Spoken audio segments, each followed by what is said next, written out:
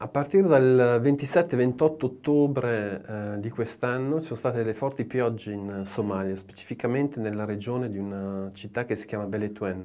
La città è stata completamente inondata e per questo ci sono stati più di 200.000 sfollati ci siamo resi conto che era necessario dare una risposta immediata perché queste persone erano completamente senza nessun supporto. Quindi la prima fase dell'urgenza nei primi giorni è stata fornire i generi di prima necessità insieme all'acqua.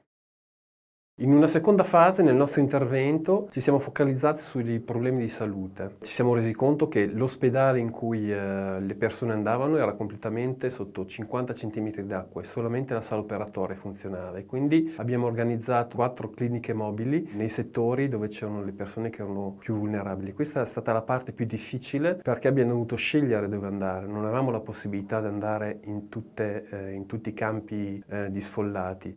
In questo momento l'acqua comincia a scendere, però la situazione è molto critica. Nel futuro il più grosso problema sarà la necessità di continuare a fornire dell'acqua, ci sono altre organizzazioni che cominciano ad arrivare fortunatamente, ma vediamo nelle consultazioni che facciamo un aumento delle malattie legate alla diarrea, eccetera.